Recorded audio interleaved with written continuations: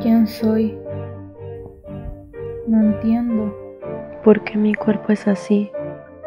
¿Por qué no soy como el resto? ¿Está bien sentirme así?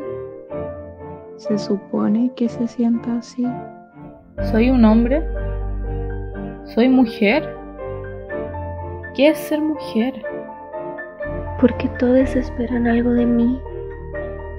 ¿Por qué nadie me escucha? ¿A quién le digo? No me van a creer. ¿Por qué pasa esto? ¿Por qué hay tanta injusticia? ¿Por qué nadie hace nada? ¿Por qué yo no hago nada? ¿Por qué no se habla de esto? Estamos en guerra. No quiero ser así. Quiero libertad. Quiero información. Quiero decidir. Nada de lo que haga solo es suficiente.